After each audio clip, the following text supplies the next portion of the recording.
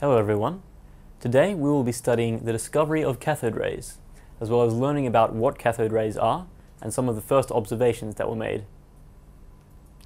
Now a cathode ray tube is simply a vacuum tube, that is a glass tube with all the air taken out, with electrodes at either end. When a high voltage is applied to the electrodes, electrons jump from the cathode, the negative terminal, to the anode, the positive terminal. Now, as they do this, they gain a lot of energy because they're being accelerated through an electric field.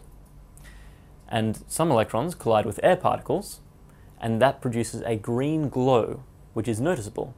And this is what creates the green glow you can see here in the cathode ray. Now, this glowing was first discovered in 1838 by a chap called Michael Faraday. He was experimenting with vacuum tubes at the time. Um, all matter at this time was thought to be made of atoms, so no one had any idea what electrons were, and no one could tell what the cathode rays were. So the invisible beams of electrons coming from the cathode uh, were named cathode rays, because they came from the cathode. Now, cathode rays were very interesting to scientists, and so they were studied for much of the 19th century. Uh, as technology advanced, uh, people made better vacuum tubes, and so you could do better studies on the properties of cathode rays and a very large number of investigations were conducted on cathode rays during this time, in the, eight, in the 1800s.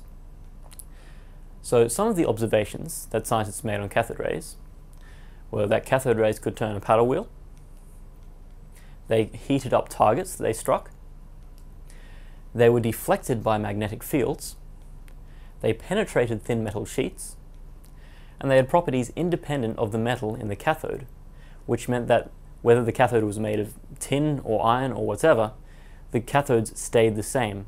So there must be some phenomenon to do with the electricity rather than the metal in the cathode.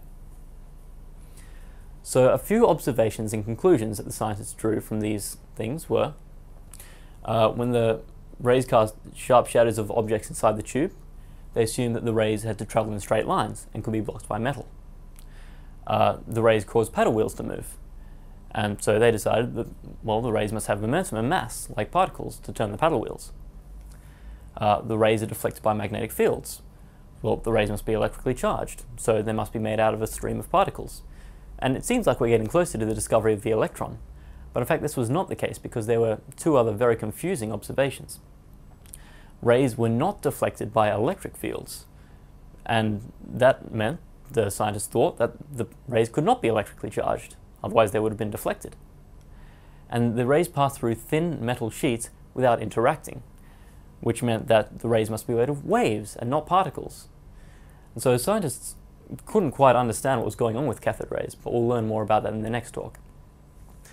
So this ends the theory. We have learned today about the discovery of cathode rays and some of the initial observations and conclusions that the scientists studying them drew. Now on to some questions. Question 1. Which scientist is credited with the first observation of cathode rays? Now let's consider the options. A. J.J. Thomson.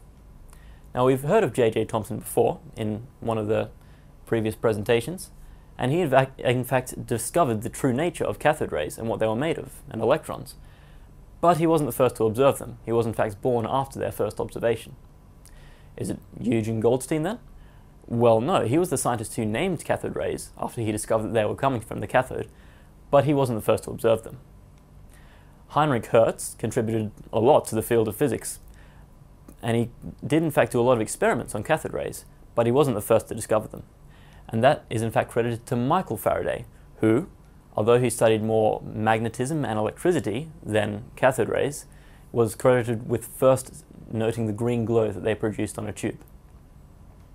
Question 2. Which of these observations, made in the 1800s, was misleading and contradicted by later experiments? And so we can solve this question by knowing that cathode rays are made of electrons. So let's go through the options. A. Rays can be blocked by pieces of metal. Well, we know that electrons can be blocked by thick enough metal, so this doesn't seem too misleading. B. Rays pass through very thin sheets of metal without damaging them. Now, the scientists of the day couldn't explain this, but in fact, electrons can pass through very thin sheets of metal without damaging them. So this was never contradicted. Is it D then? The magnetic fields affect the path of cathode rays. Well, we know from uh, our previous knowledge that charged particles in magnetic fields uh, get a, can be have their path affected by the magnetic fields. So this is a correct observation. And so then we have D. Electric fields do not affect the path of cathode rays. This was in fact a misleading observation because we know that charged particles are affected by strong electric fields. The reason for this lack of a deflection by electric fields we'll learn about later on. This is the correct answer, D. Question 3.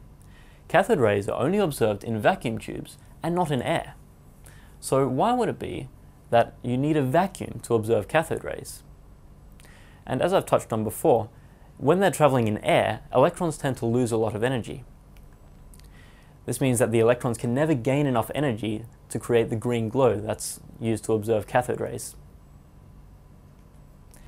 Question 4. When a magnetic field is applied to a cathode ray tube, as shown here, how would the path of the cathode ray how would the path of the cathode rays change, if at all? Now, we can solve this by using the right-hand rule. The cathode ray is made of electrons, which are negatively charged particles. This means that the positive current flows in the direction opposite to the motion of the cathodes. Using the right-hand rule, we can use the fingers to represent the magnetic field, which must be moving downwards. And if the cathodes are moving in this direction, the force must be towards you. And we find that this is indeed the answer. This concludes the section. Today we have learned about cathode rays and their true nature, as well as their first observation and discovery, and some of the observations and conclusions that scientists drew about them.